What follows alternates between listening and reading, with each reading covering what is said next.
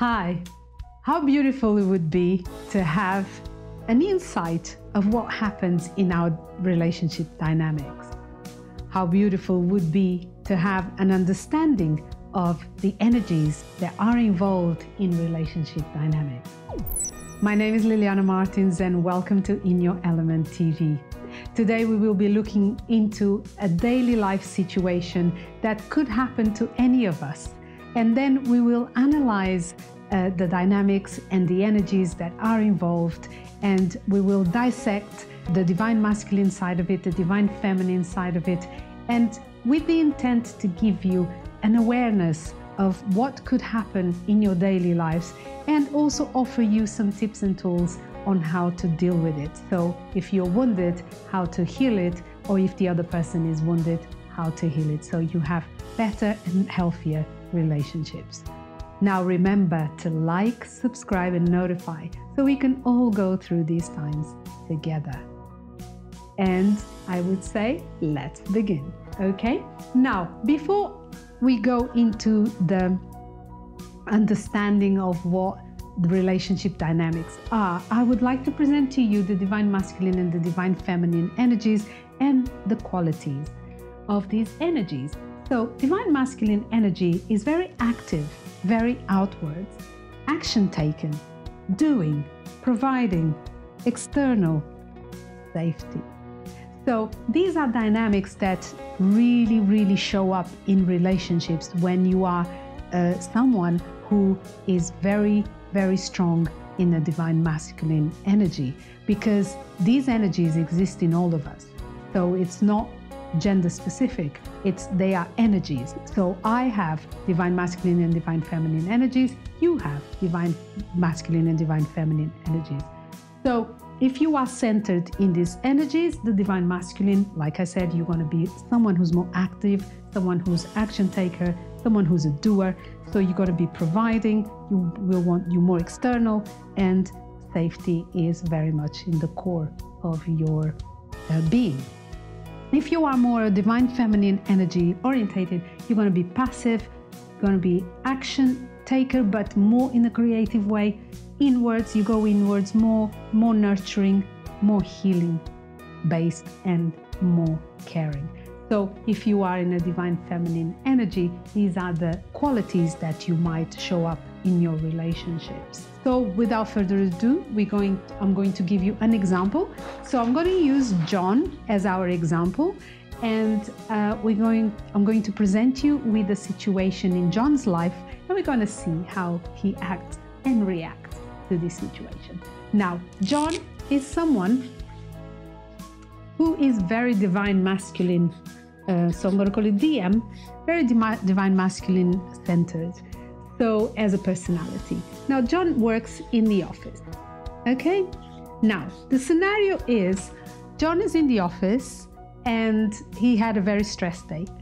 And he comes home and he is he lives with um, he shares a flat with uh, a few a few friends, um, a couple of friends, I'd say. And uh, John comes home and he's very stressed. He just just wants to relax, so he lies on a sofa with his shoes on. And he's got his shoes on the sofa because, you know, he couldn't be bothered to take them out.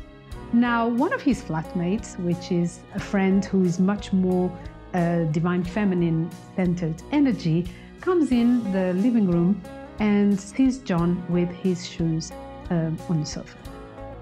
Now, this person is not very happy and it actually tells him off and uh, tells John to take the shoes um, to take his feet off the sofa or to take his shoes off. Now, just by saying that, this person reminded John of his mother because that, that's why he left home, right? So basically, John now is very upset because he was already stressed and upset from coming from the office. Now, this person has really totally touched him in a very negative way. So, John is now wounded. But he was already wounded before, but he just amplified this wound. Now, we're going to dissect, we're going to uh, uh, see possibilities that John could have towards healing this wound so he doesn't carry on repeating this situation in his life because he already had it with his his mother, and uh, now he has it with a, a, friend where he lives. And if he doesn't heal this wound uh, that started uh, before, he will continue to attract these kind of situations. So let's see. Now, John has two possibilities, and uh, the possibilities are he can do the, the, the work, the healing work himself. So this will be him doing it on the self, okay? Or he can reach out to an external, which will be a friend or a family relative or to his sister, whoever it is. So he'll do, let's say, a friend, yeah, for, for, for this teaching. Now, if John decides to do it himself, now his divine masculine is the one that is wounded. Now, when it comes to healing, divine feminine energy is the one required. It doesn't mean gender specific, it can be anyone as long as they have a very strong divine feminine energy to hold your space. But if you're doing it yourself, and in this case, John is doing it himself, he will need to have a very strong divine feminine because John will be divine masculine and divine feminine here. Now, this one is wounded. So he will require his divine feminine to come in and help him with the healing. Now, when the divine masculine is wounded, it will want to go inward towards the divine feminine. But first, the first reaction of John is to actually now going into his room. So he will leave the living room and he'll go into his room. Why? Because divine masculine energy has a tendency to just want to remove themselves from the place or the, the situation because they go to what is very well known as the man cave. No gender specific, is just an expression, the man cave. So in this case, John's man cave is his room. Why? Because there he has opportunity to be on his own. The reason a divine masculine will go into a man cave and look for, uh, sol- I would say, solitude, is because they want to access their divine feminine energy to heal. And if they apply the right tools, so if you have the right tools, then if he's if John is very aware and he applies the right tools, he will be able to heal himself. It could be that he uses some sort of meditation, uh, he could do um, affirmations, he could do um, processes, he can listen to processes, he can do some art, uh, maybe reading, whatever he requires, journaling. So, this would be what he would, tools that he could have to um, heal now, if he hasn't got the right tools and he doesn't apply, he's not uh, aware or um, open enough to do that, what he will probably do is he'll sulk. He'll sulk and he'll stay in his wound as long as he can until he feels better and then he comes out of it. So these are the possibilities when you do on your own. And in that case, when you sulk, what it means is that when you you're feeling better, you will come out of the sulk and you'll go out into the world and the wound will repeat. So that's why we recommend you, whenever you have an event where you're upset or something happens, some wounding happens, we recommend that you deal with the wounding straight away. You could look at our video here on the healing journey where we explain how we can help you to heal your wounds so you never have repetitions again and loops and loops and loops because every time it happens, it tends to be more intense. And sometimes we're not aware of it, so that makes you always not understand what happens uh, in terms of loop of repetition. Now, so now we know what John can do on, on his own, and it's his choice. But if he, he has another choice, which is to call a friend or a family member or whoever he wants. For the purpose of this episode, we're going to use a friend. Now, let's say John calls a friend, a friend, and this friend answers the phone. And there's two things that can happen here. He calls a friend who could be on a divine masculine energy or a friend who could be on a divine feminine energy. Ideally, he would be on a divine feminine energy.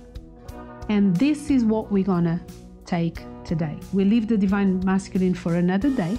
And today we take that John's friend receives him in a very divine feminine energy. And that means that this person is going to be the holder of John's space.